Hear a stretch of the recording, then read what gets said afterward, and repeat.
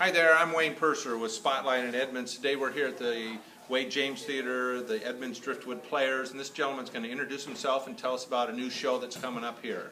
Welcome. Hi, my name is Larry Albert. I'm going to be directing a thing called the Good Old Times Radio Show.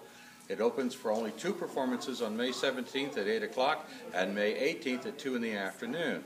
What we're going to be doing is recreating old radio, except it won't be old radio that people remember. It'll be new time radio that I produce and syndicate through Jim French Productions. We've been doing this now for 18 years around the country, on the internet, and we're going to do a uh, Harry Nile adventure, who's a private detective in the 1950s, and what we call a standalone. No continuing characters, but it's hopefully going to be very funny.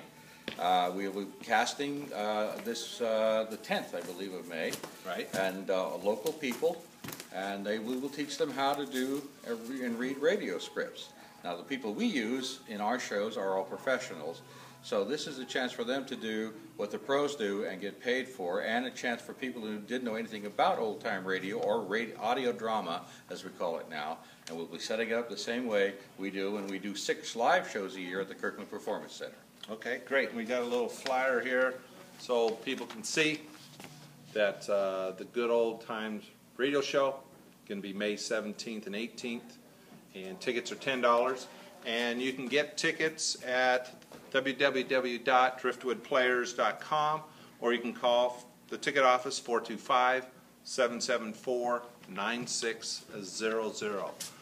That's it. That's we it. look forward to a great show. This is Wayne Purser with Spotlight in Edmonds.